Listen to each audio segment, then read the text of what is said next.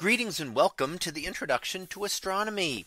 One of the things that I like to do in each of my introductory astronomy classes is to begin the class with the astronomy picture of the day from the NASA website that is apod.nasa.gov apod. And today's picture for November 1st of 2022. Well, it is titled the uh, NGC 6357, the Lobster Nebula. So what is the Lobster Nebula? Well, it's actually a nebula that is known for forming some of the most massive stars that we can see. Now stars, there is an upper limit to how massive a star can be.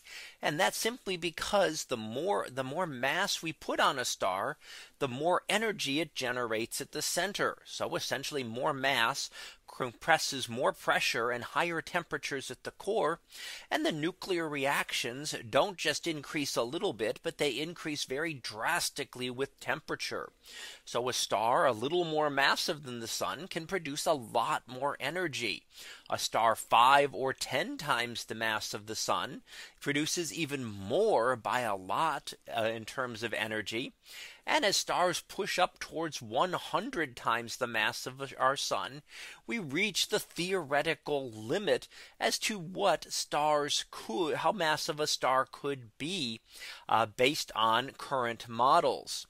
So about 100 times the mass of our sun. And we see stars within here originally thought to be much larger now found to be parts of binary or even triple systems that are maybe 60 or 70 times the mass of our own sun.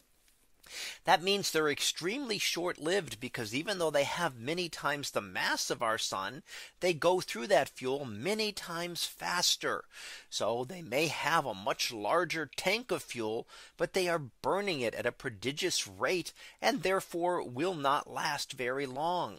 So while our sun at one solar mass may last for a uh, 10 billion years, these stars may only last a million or two years before becoming supernovae.